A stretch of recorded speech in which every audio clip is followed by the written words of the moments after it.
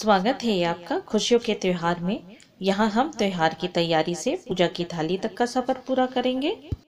आज की वीडियो में आप जानेंगे सावन में बन रहा है कैसा विशेष संयोग और श्रावण सोमवार में कैसी पूजा से मिलेगा आपको लाभ।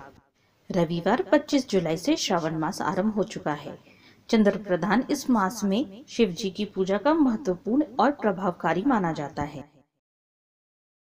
जल तत्व प्रधान चंद्रमा एक और वातावरण में नमी लेकर आता है तो दूसरी ओर मनुष्य को भी प्रभावित करता है। इसलिए तिरछे चंद्र को मस्तक पर धारण करके उसकी शोभा बढ़ाने वाले भगवान आशुतोष की पूजा इस मास में अति महत्वपूर्ण है। यह श्रावण मास रविवार से ही प्रारंभ हो रहा है और रविवार को ही समाप्त हो रहा है। ऐसा योग कम ही पड़ता है। वे जातक, जिनकी कुंडली में चंद्र नीच का है या पाप ग्रह से युक्त है, इस योग में उन्हें भी लाभ होता है। इस बार श्रावण में दो बार श्रवण नक्षत्र पढ़ रहे हैं और चार सोमवार पढ़ रहे हैं।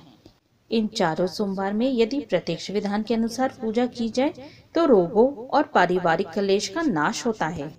इस श्रावण में सोमवार को यदि इस प्रकार पूजा करें तो लाभ होगा।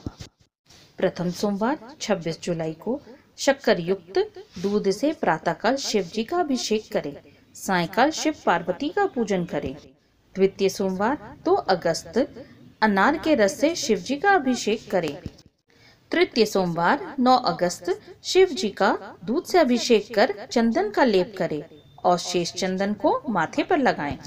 चतुर्थ सोमवार 16 अगस्त, दूध में शहद मिलाकर पीपल के पत्ते का चम्मच बनाकर उससे शहद मिश्रित दूध का अभिषेक करें। शिव सत्य है, समर्पण है, त्याग है और परिभाषित होने से परे है। शास्त्र में कहा गया है कि आत्मा पम गिरजा, मति सहचरा प्राणा शरीरम गृहम अर्थात जिस तरह सत्य और शक्ति एक दूसरे के बगैर अधूरे हैं, जिस तरह आत्मा और मन के बगैर शरीर जागृत नहीं हो सकता, उसी तरह शिव और पार्वती की एक दूसरे के बगैर कल्पना नहीं की जा सकती। श्रावण मास एक ऐसा अवसर है, जब मनुष्य अपने में अंतर्निहित सत्य स्वरूप शिव और ऊर्जा के रूप में विद्यमान शक्ति को एकाकार कर सकता है। श्रवण नक्षत्र से नाम प्राप्त श्रावण मास में शिव पूजा करने से समस्त रोगों, विकारों और कलेशों का नाश होता है।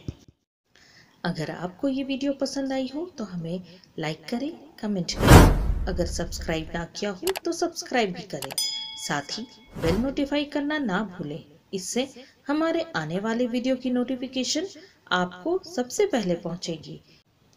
यहाँ तक बने रहने के लिए आप सबका धन्यवाद। ओम नमः शिवाय।